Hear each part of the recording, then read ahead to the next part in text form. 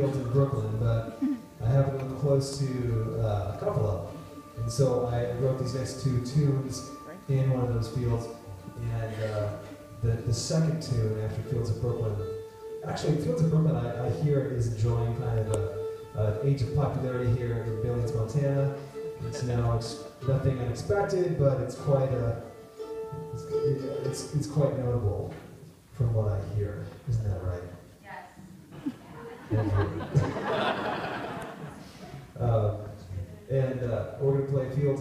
To a tune that I wrote for a friend of mine. It's called The Castle Light.